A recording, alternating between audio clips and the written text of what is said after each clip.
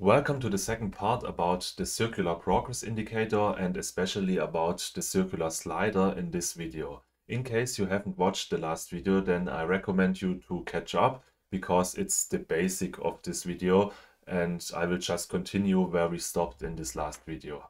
So in Android Studio, let's switch to code here and go up to our state variables because we need some additional state variables here First of all, we need a var change angel, which will be our um, change angel when we track.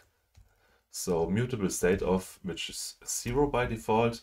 Then we have also a track started angel, so where we exactly started the tracking by remember mutable state of 0f as well.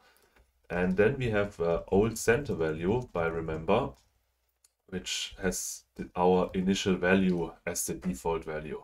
Or well, let's uh, rename this because this name is a little bit confusing. Let's call it old position value because um, uh, when we are tracking later, then we always need the old positioner and do some calculations and add our old position to get the new positioner. So the old position is always a little bit behind, but is used to calculate the new positioner with the new raw values. So this is the sense of this state variable.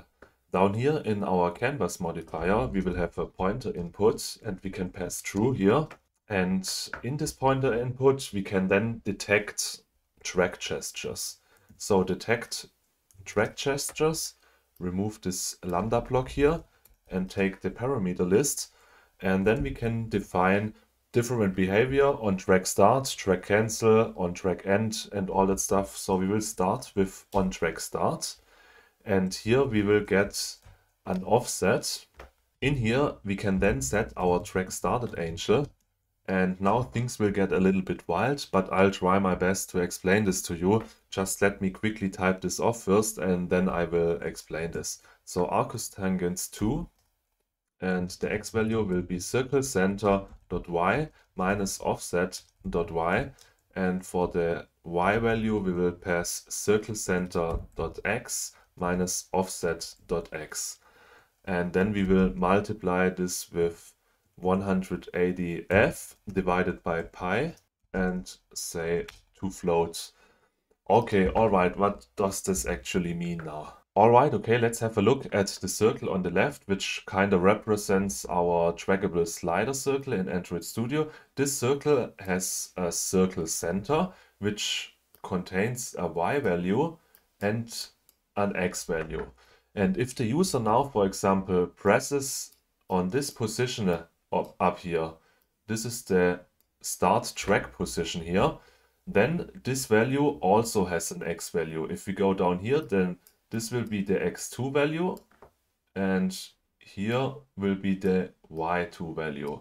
And now we can kind of calculate a triangle. So if we put a line down here, a line down here, and connect them on the circle center, then we can try a triangle. And we also know the size of two sides of this triangle. So the one side will be our x2 minus x, so minus, and the second side, which is the size of this side here, will be our y2 minus our y. And now we can apply a formula, which is the arcus tangens 2 formula, to calculate this angel here. And this is our start track angel. And we can only apply this arcus tangens 2 function because we know that this here is a, a right angel.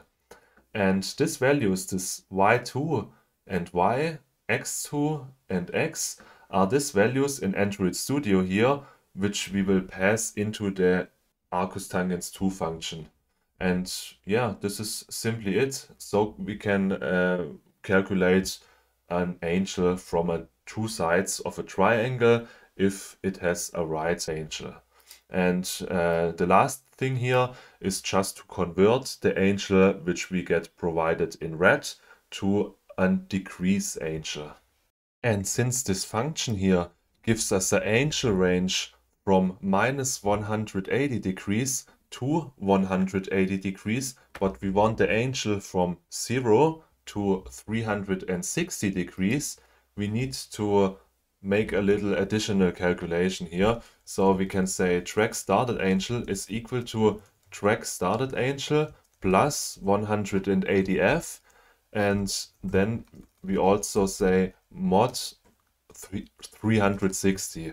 This function here will map our angel from here to the corresponding 0 to 360 angel values.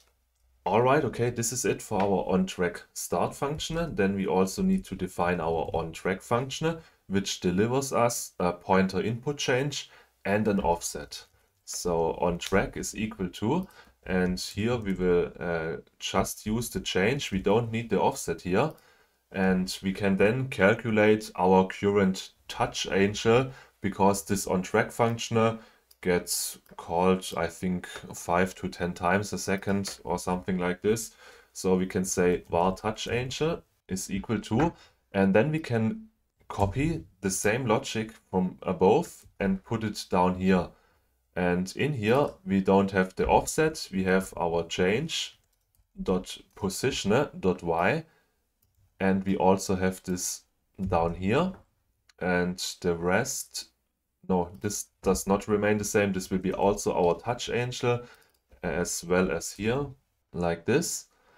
And then we can calculate our change angel. So the change angel will be our touch angel minus the old position value times 200 and 360f divided by our max value.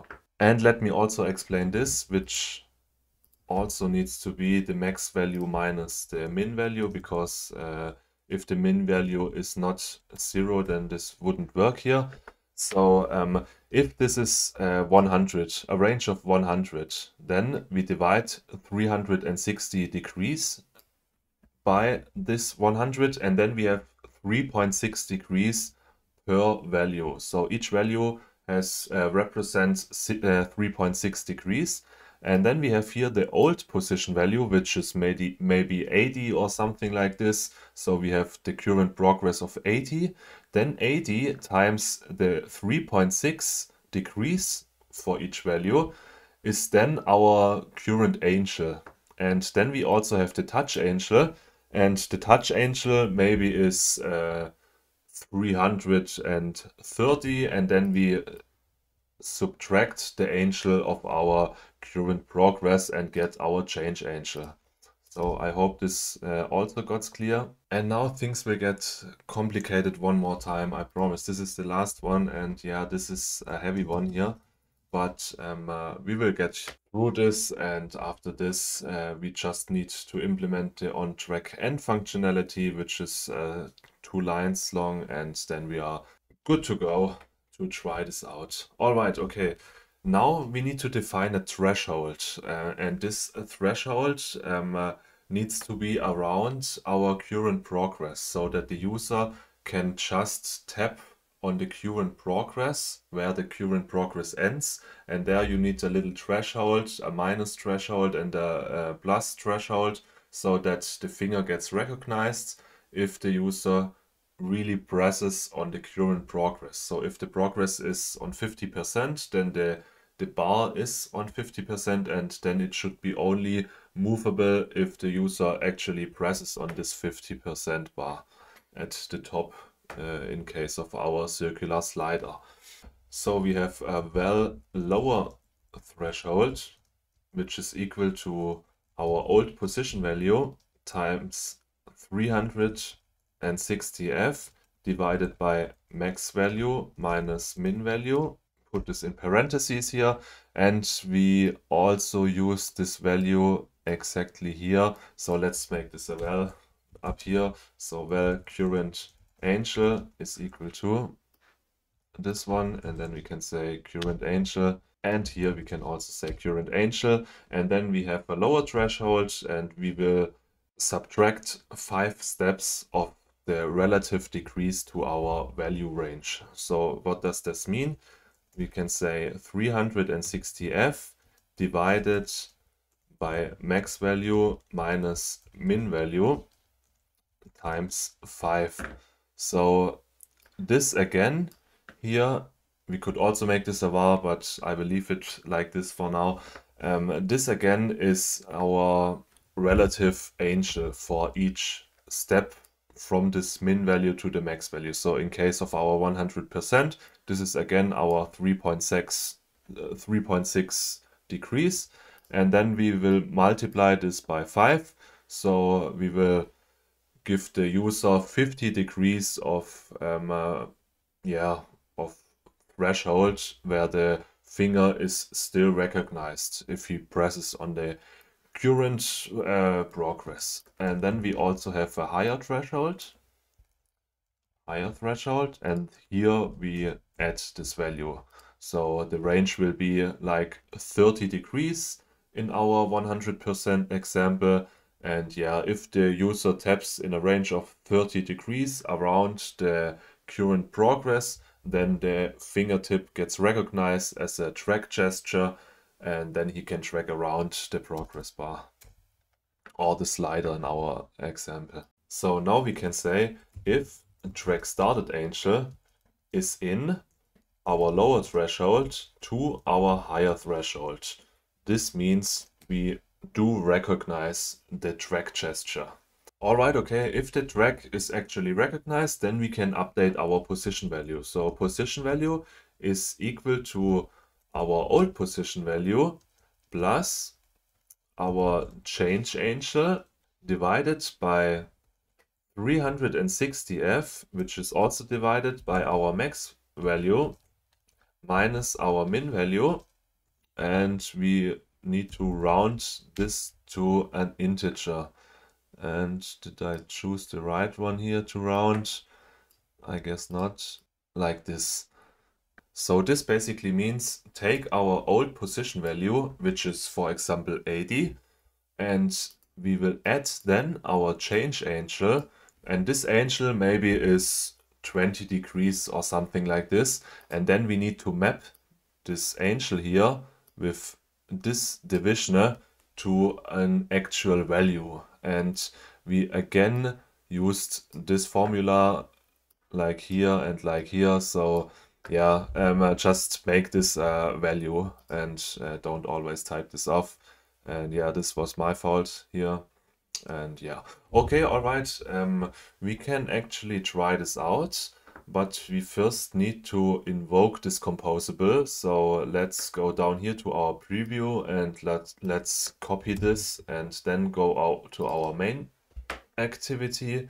Inside here, we can remove this default stuff and we will have a box which takes the modifier fill max size and we need to import the box here. The background will be dark gray. The content alignment will be alignment.center and in this box we can then paste this custom circular progress indicator which is in our case now a custom circular slider and let's import size dp the orange color and the gray color. And then we can start this. Alright, try this out by dragging from 50 to, for example, 19% and let go. And then we drag, oh, okay, this does not work. It only works once. I think I know what the problem is because we can just, yeah, we can just drag it on our initial 50% and um, uh, move it then. And if we uh, do it like this, uh, somehow the initial value just gets saved. I think this with our mutable state value. Um, yeah, let's quickly fix this. Alright, I found a mistake. This was really dumb. Here in our canvas modifiers pointer input, we also need to define the on-drag end function. So on-drag end and in here we can say old position value is equal to position value. And then we can also invoke the on position change function and pass our position value. And in our main activity, we could then access it here like this, position. And then you could, for example, pass this to a view model and do some processing with it. Uh, do something with this position value. Okay, alright, then we can relaunch the application and now it should work. So let's try this out and put this to 21% and then I track around here. At 50% nothing happens. And when I go to the 20 then everything works quite well. And again all right okay. This should be it for this uh, video. And um, there is one problem left which I will um, quickly show you but I won't implement here. So if you exceed 100 then it just starts from the beginning and the other way around. If you go from null to 100 then it always um, overlaps kinda.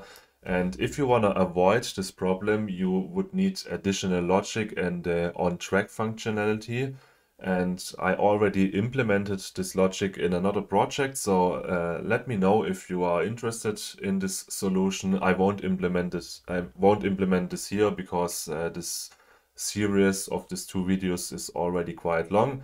And yeah just let me know if you are interested in this solution or if this is fine for you like we did implement it like here Alright, okay, I hope you enjoyed this video and the previous one and I hope you also learned a lot of things and yeah, see us in the next video.